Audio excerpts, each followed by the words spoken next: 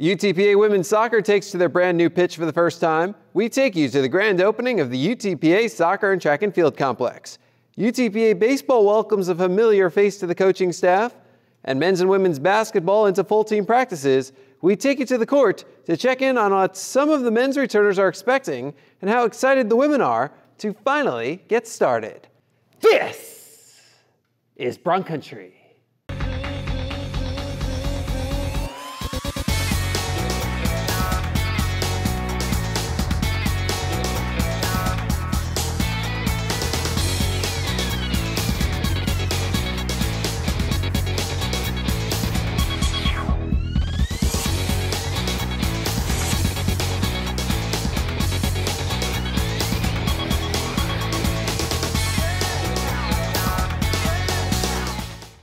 Hey everyone, and welcome to Bronc Country. I'm Jonah Goldberg. When UTPA Athletics announced the start of soccer teams, there was talk about a new on-campus soccer and track and field complex. On January 29th, UTPA Athletics and PBK Sports released renderings of what the complex would look like as construction began. 254 days later, it was time for the grand opening. Large crowd on hand to enjoy the new facility, including the ribbon cutting. Mark the time and the date. At 3.07 p.m. on October 10, 2014, the UTPA Soccer and Track and Field Complex officially opened for business. Fans packed the stands to see warm-ups, and then, before the start of the match, Val Amantia Paisan presented UTPA Athletics with a check for $275,000 for the inaugural William D. Paisan Endowed Scholarship for Intercollegiate Soccer, a scholarship that provides a minimum of one scholarship for women's soccer and one for men's soccer each year. This year's honorees were April Compeon and Erica Gonzalez of women's soccer and Jose Sosa of men's soccer. Speaking of men's soccer, there were quite a few former Broncs men's soccer players in attendance at the match, and they were honored on the field following the check presentation. Men's soccer, which was last played at UTPA in 1997, returns next year. Next on the agenda were the starting lineups, and then the UTPA Army ROTC presented the nation's colors before the national anthem. And then, after all that, it was time to play some soccer. Pick it up in the 41st minute. Allison Smith with the pass ahead to Amy Intulai, who streaks across the field and buries it. First goal in complex history, Intulai's sixth, Broncs up 1 0. 62nd minute. Think Andrea Barrera's trapped in the corner? I don't think so trolls the axis and finds Smith, who finishes it. Second goal for Smith, Broncs up 2 0. Just a few minutes later, Smith continuing to have an absolutely ridiculous day. This time she finds Zinnia Hennig, who goes one on one with the goal and wins. First career goal for Hennig, and she scores it in front of her family, who came in from El Paso. Smith finishes with a career high four points. The Broncs win the first match in UTPA soccer and track and field complex history three to nothing. It's awesome to win here. I mean, there's so much excitement, so much like we've been watching this since it was basically dirt, and now it's you know this, and it's so amazing. We're all really excited. It feels amazing just knowing that we're home uh, and we got a shutout. It just it just feels amazing. It was great. We we put up a lot of points and we made the crowd excited, and I think we played a good game. It was great for the atmosphere here. Today was very important. It was very important for fans, very important for the community. It was a tremendous occasion for us to uh, not only debut our, our, great facility here, but put together a good second half performance and, get some goals and, and go as winners. Two days later, the Broncs taking on Kansas City for the second Sunday in a row, and this was quite a match. Spotlight Aubrey Coley, the Broncs freshman goalkeeper, really forced to work in this one, giving the Broncs a chance by making a career high 17 saves. 10 of those saves came in the first half, during which time the Broncs didn't have a shot on goal while going down 1 0. So we pick it up early in the second half. Amy Intulai with the shot, and Nina Gianos punches it over the first time she's tested. But that sets up a corner kick for the Broncs. Emily Ortiz places it perfectly, and Hannah Spetz heads it home. Match knotted up at one. And that's where the score stayed for almost 60 more minutes. Just over a minute left in the second overtime. Hannah Presley for the Broncs Nikki Lynch for Kansas City. Presley on the ball, and then Lynch grabs Presley and pulls her away in order to take over. Let's take another look at that because it's important. Wow. We can look at it from three different angles and a clear grab there. Play allowed to continue, and Lynch feeds Whitney Lucas, who gets behind the defense. Coley puts up her hand, thinking that maybe there should be an offsides, but it's not called, and then Lucas finds the back of the net with 57 seconds left. The Broncs wait on the field to see if the call will be overturned, but to no avail, as the Kangaroos are given a 2 1 victory over the Broncs. We did an excellent job. I'm so proud of the girls today. Um, unfortunately, it doesn't end that well we want to, uh, but I'm definitely so proud, and uh, we just have to keep it up. Well, we, we fought hard. Both teams had the chances, and uh, you know, in the end, we feel unfortunate to a loss. But again, we played pretty well. We fought, and uh, we put ourselves in a in a position of respect from last uh, last time we played these. Uh. Here's a look at the WAC standings. The Broncs in fourth place with seven points at 2 2 and 1. Kansas City leads the way at 4 0 0. The Broncs next face the two teams between them and Kansas City Utah Valley on Friday at 4 and Seattle on Sunday at 1 in the final two matches at the UTPA Soccer and Track and Field Complex this season. The best three teams back to back to back. Uh, we have to play at least like this, if not better, uh, next week. Uh, but I know we will take some confidence from this game and continue to move forward. We're improving as a team. It's a long-term project, and this just shows that we're on the right track. It was a big week for facilities at UTPA. Along with the opening of the soccer and track and field complex, UTPA officially took ownership of Edinburg Baseball Stadium following a donation from the City of Edinburg to the UT Board of Regents. Lots of upgrades coming to the stadium. If you're interested in becoming a part of that, naming rights opportunities are available. A complete list can be found at broncathleticfund.com. Broncs baseball has already begun practicing in their stadium. Last week, we told you about the start of full team practices. The Broncs have had a familiar face on the field, but he's not a player anymore. Former top catcher Mike McCarthy is out there working from the other side of the dugout.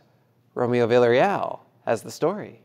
When former UTPA baseball player Mike McCarthy decided to come back down to the Valley and get his master's degree, he didn't expect he'd be coaching on the UTPA baseball team this year. I actually came down here and um, I knew I wanted to go back to school, so I started my master's program. And coach said, "Why not help out here? You know, learn if you like coaching, see if you like it, and we'll go from there." He was a great player. He was a great student. He graduated uh, with an English lit uh, major. Um, played some professional baseball. Uh, after he got uh, done with professional baseball, uh, he came back. Um, he's dating a young lady here from the Valley. So as soon as we found out that uh, he was back, uh, we asked him if he would be interested in uh, becoming our volunteer. Um, and he said yes. So what he's doing now, obviously with us, he's our volunteer coach, but he's also getting his master's degree. So Mike's a, a great, great person. Uh, great young coach. He has a bright future, and we're, we're lucky to have him. One of the first things Coach McCarthy noticed was just how much work the coaches put in that players don't really see. You know, I've learned a lot. I've learned a ton. Um, you know, throughout the next uh, few months, you know, before the season gets going, you know, I'm sure I'll learn a lot, and I'm excited to get going. When you're a player, you don't see half the stuff that goes on behind the scenes. You know, I always thought, oh, the coaches come out for practice, and that was it, but no, it starts early in the morning in the office, and then, you know, coaching on the field, that's the easy part of it all. One of the things Coach Mantrana saw in Coach McCarthy was the trait he looks for in every member of his team. Well, you know what? You always want to bring back guys that played under you because they know the system, Romeo. And with Mike having played for three years, he knows our system very, very well. Plus, he has the, something that you can't teach, and that's uh, HWA, how to win awareness. Um, you can't teach it and you can only develop it through anticipation and extreme concentration. And Mike had that as a player. So we try to instill that in all of our players to develop how to win awareness. Um, and Mike always had it as a player. And again, it's it's always good to bring back a former player, that type of player, that type of person, that type of student that Mike is. Reporting from the Edinburg Baseball Stadium for Bronc Country, this is Romeo Villarreal. UTPA men's and women's basketball both on the court for full team practices this week. Next on Bronc Country, we take to the hardwood to catch up with both teams. We pursue excellence in the classroom and strive to achieve our potential. We compete on the field with integrity, on the court with respect, and in the pool with distinction. We are strong leaders in our community and gain values from our biggest fans. We continue the legacy of commitment to our universities, to our coaches, to our teammates, and most importantly to you. We learn, we compete, we inspire. We are the Western Athletic Conference. Ball, the right wing, goes for the tie, and he does it again! Nolan straight to the hoop, ties the game! With three, with two, the desperation heave goes in! Jack Bogan from half court! Broncs win! Get your Broncs basketball season tickets now by calling 665 2221 or logging on to utpabroncs.com. This commercial is brought to you by Lack's Furniture, an official sponsor of the University of Texas Pan American Intercollegiate Athletics.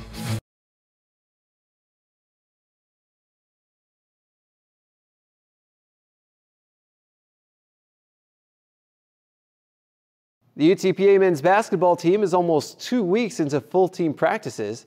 There are a lot of new faces on the court, but it's the five returners that are setting the expectations this season. Romeo Villarreal has more. With only five players returning for the Broncs, only two of which saw any playtime last year, the players know they have a long way to go in getting ready for the upcoming season. But this hasn't put a damper on the spirits of returner Shaq Hines, who is confident in his leadership skills and the abilities of this team. Once the summer came, I seen we had about eight new guys, so I already knew it was going to be a big learning experience for them guys this year. So I knew they had a lot of learning to do.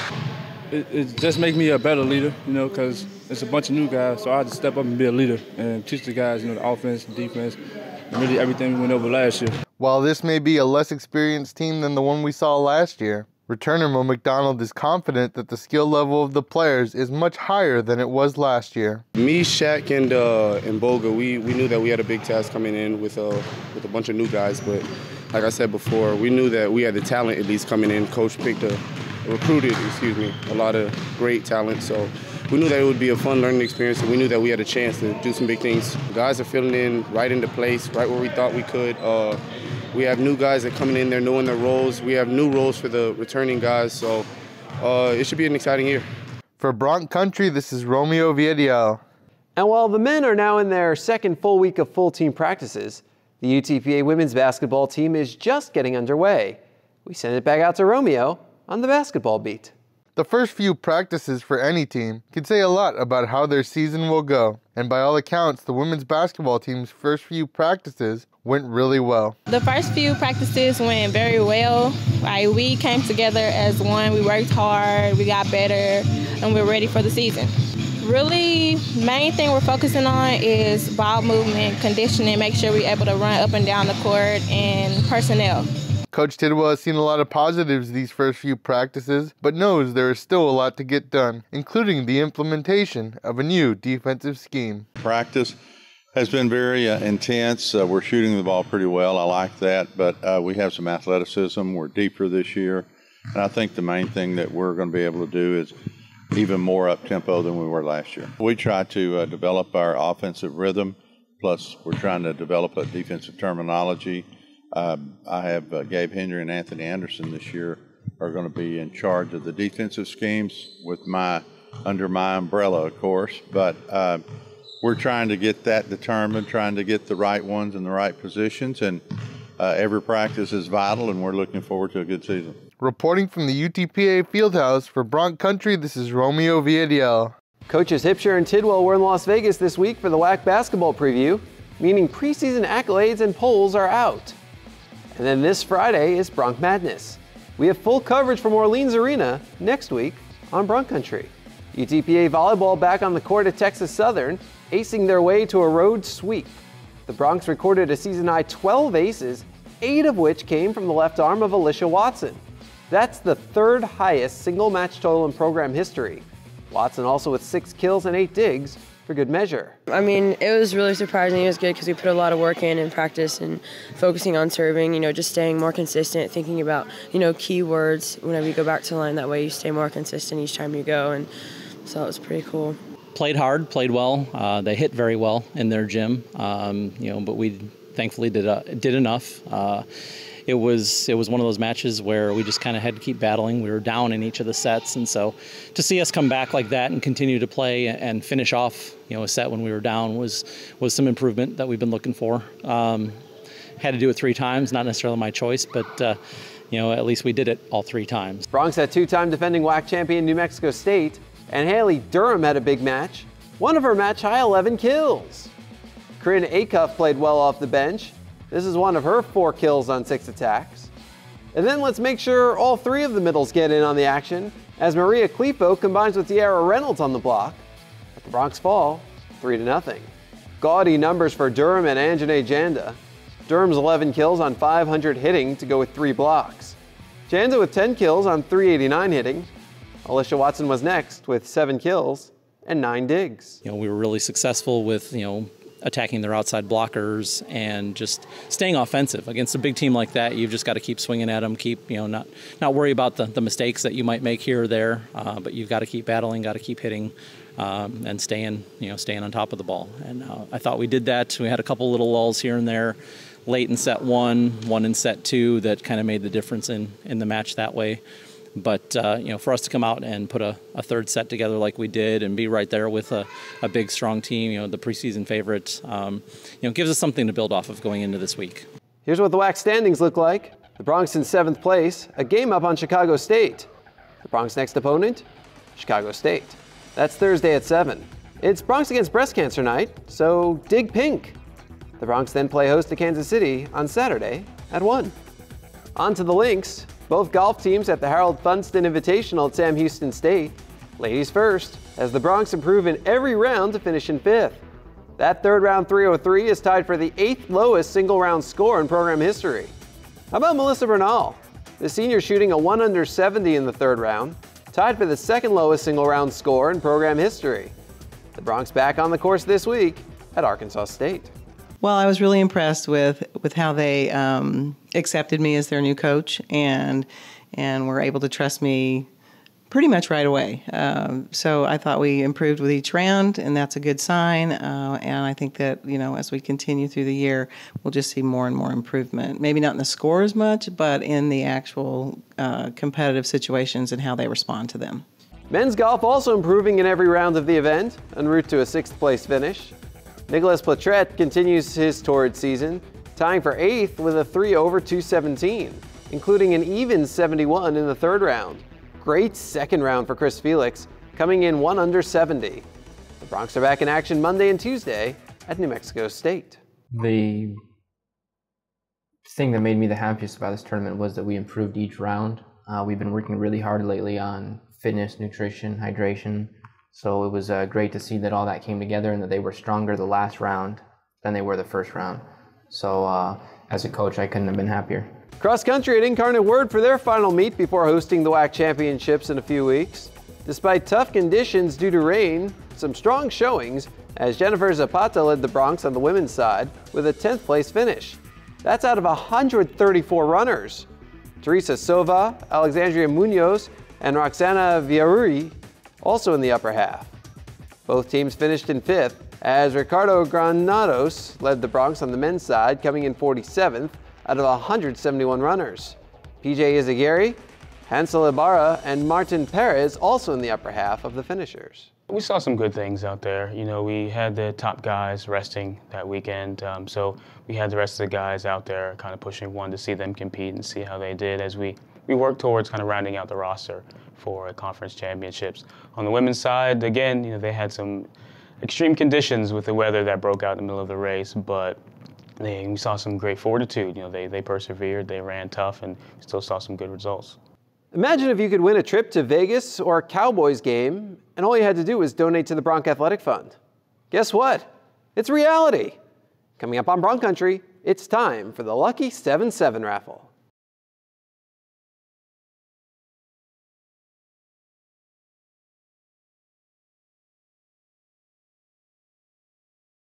There are a lot of members of the Bronc Athletic Fund who help to support student athletes' scholarships, and it's not necessarily people with a lot of money, but instead with a lot of drive.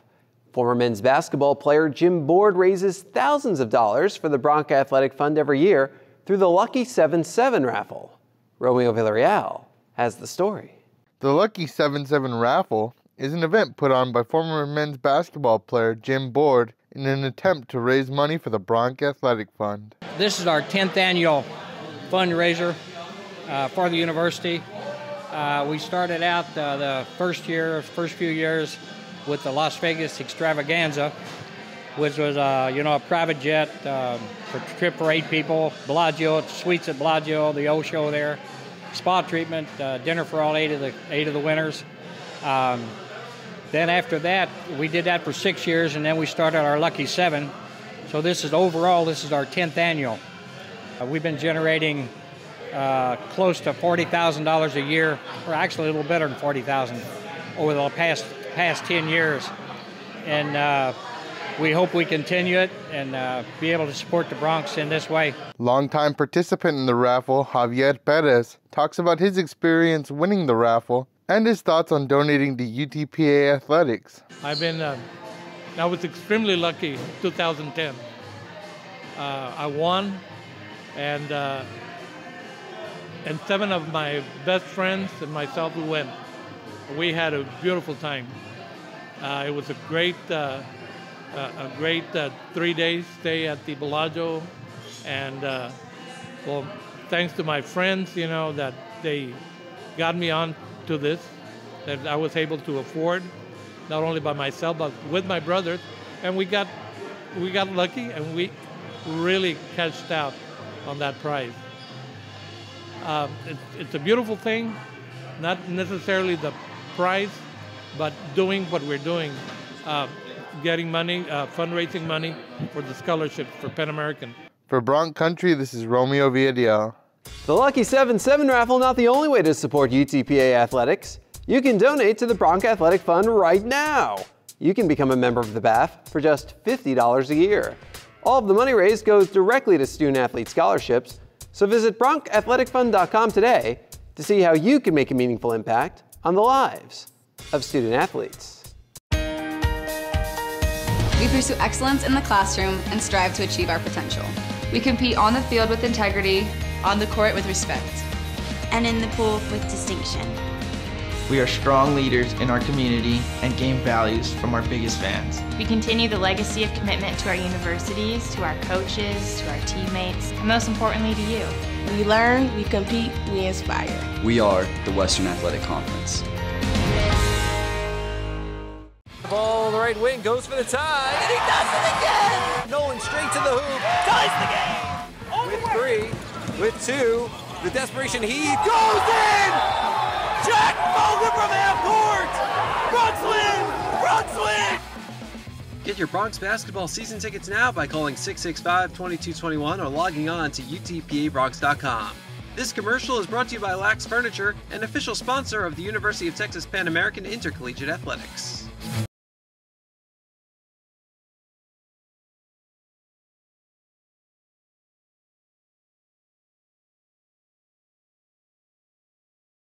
Here's what's coming up for the Broncs. Women's soccer with its final two home matches of the season. Friday at 4 against Utah Valley and Sunday at 1 against Seattle. Volleyball also at home, hosting Chicago State on Thursday at 7 and Kansas City Saturday at 1. Bronx Madness will cap off Spirit Week Friday night at the Fieldhouse. Men's and women's tennis head to the ITA Regionals, and men's golf is at New Mexico State. We want to thank you for stamping your passport in Bronc Country this week. Schedule another visit for next week. But until then, Go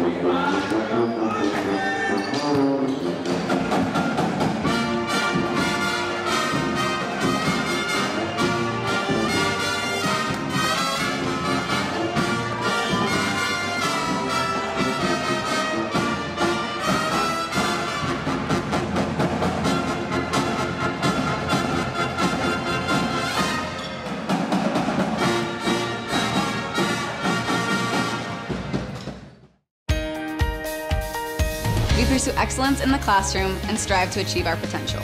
We compete on the field with integrity, on the court with respect, and in the pool with distinction.